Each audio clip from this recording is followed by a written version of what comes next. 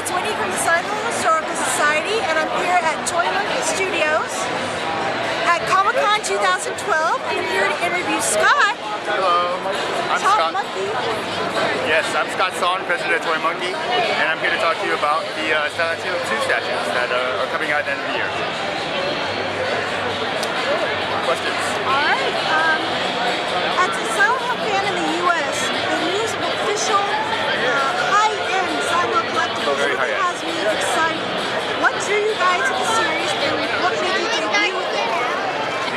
what drew us to the series was, uh, first of all, we're very hardcore fans. I mean, the president, uh, myself, uh, all the sculptors involved, we all love the game. We've all beat it multiple times, and we all just wanted to get our hands on it, and we wanted to make something official, right? So since, uh, you know, Akao from Headlong gained so much popularity with this, uh, you know, kids, I mean, I mean, actually, decided to take it to the next level and go into, you know, manufacturing, and, uh, you know, this is his debut piece as a, uh, with the manufacturer. Yeah. Are you guys planning to distribute these statues internationally, or is it limited to North America? Uh, it's going to be worldwide, definitely. Uh, I mean, not in every country, obviously, but you can't expect to see it all over the world. Will your line of statues include color variants or special packaging? Definitely special packaging, definitely color variants, and uh, uh, you know, color variants I can't really confirm at the moment, but it all just is relative to uh, what we get approval for. basically. Sort of price range are we looking at for these statues, and when do you think they'll be available for purchase? Okay, they're going to be available after the movie, sometime in November or December. Although we're going to try our best to get it closer to that movie launch. Uh, MSRP is going to be 150. Uh, although that's not really set. It could be a little bit higher, it could be a little bit lower. We'll have that all officially announced when it's ready. Okay, will that information actually be on your website? Absolutely, absolutely. Can, can you tell us a bit about the artists behind the statues? How did you find them? Right.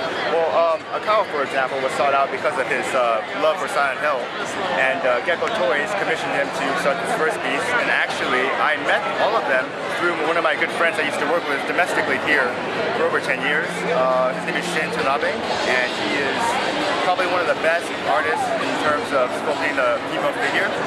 So it was natural to pick him to do the, uh, the bubble head nurse. You know, uh, it was it's just uh, it's beautiful. It's very it's very Shin Tanabe, and he is uh, he is good at what he does.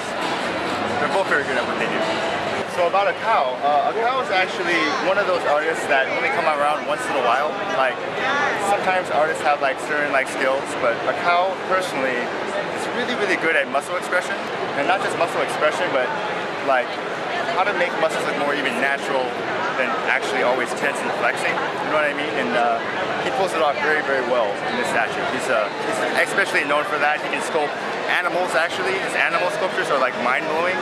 You know, you think like you'd have to sculpt something like name brand or whatever, but his animal sculptures are like amazing, you know, and you talk about human anatomy, blows everybody away. Blows everybody away. Oh, we're getting close to JSCon. I know some collectors prefer to paint and Oh, yeah. put together the kits Yeah, yeah, themselves. hobbyists, right? Yeah. Yeah. Will these um, statues be available both unpainted and unassembled, and then of course painted and assembled? Well, currently we still have it uh, set to be a fully painted, pre-painted statue, but we have been getting a lot of responses about how people want to have it just gracefully get painted themselves. We cannot confirm that at the moment, but we will take it into consideration. Definitely. Are you guys planning to expand the line to include other games in the franchise? Uh, yes, we're definitely interested in doing all the Silent Hills, but we just have to take it one at a time and, uh, you know, keep it going for as long as possible. As a collector myself, I'm surprised in the past there hasn't really been any figures or statues made of the human Right, characters in the characters. games. Do you guys think your line will include the non-creature characters like James Uh, Maria, Harry? Well, I mean, being so hardcore Silent Hill fans, I mean, let's say hypothetically we do all the characters like monsters. There's no way to not do the main characters. So I can see us, you know, definitely dabbling with that, or at least doing some concepts in the near future. Again, we can't confirm anything. So far, it's just these two guys, but we're definitely fantasizing about it. What drew you to Silent Hill 2 for your first run of statues? Well, I think it's just a good Silent Hill to start with. It was, it's considered by a lot to be like the best Silent Hill.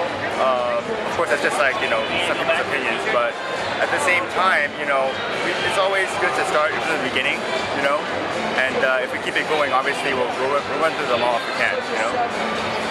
If you could do a second run, which Silent Hill characters would you like like to see done and why?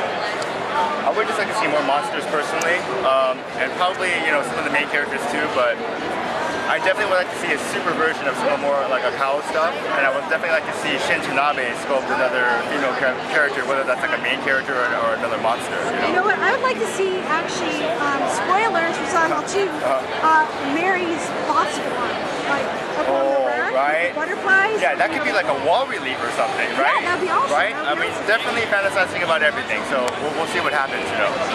Um, do you think it's possible that you guys could create uh, real life replicas of the items found in the game?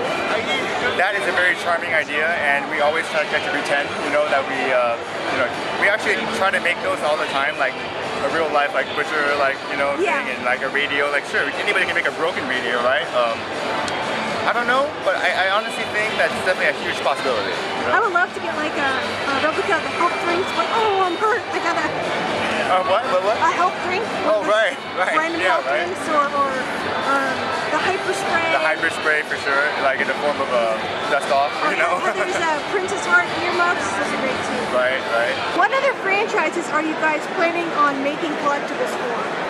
We're definitely gonna get, you know, gonna do whatever we can get our hands on. We definitely like video game franchises, but what's more important is uh, finding a franchise that we have artists that are gonna be passionate about, you know, making products for. Uh, Studios is definitely focused on the artist, uh, artist point of view, and uh, we want to make sure that their hearts are in it, so they produce a quality product. Actually, can you tell me a little bit more about the artist who's doing the painting for these? Yes, the, the, the artist that we have commissioned to do the painting is actually uh, going through Gecco's Gecco uh, Japan, and uh, I believe the the bubble bubble nurse isn't approved yet. But while the uh, pyramid head sculpture is approved, we're currently getting the paint paint job approved. We'll have that and all those pictures available and all that information available when it's approved. You know, example like let's say if that doesn't go well, then we really shouldn't be advertising that he painted it. But the most important thing is that the painting will definitely be on par with the sculpture.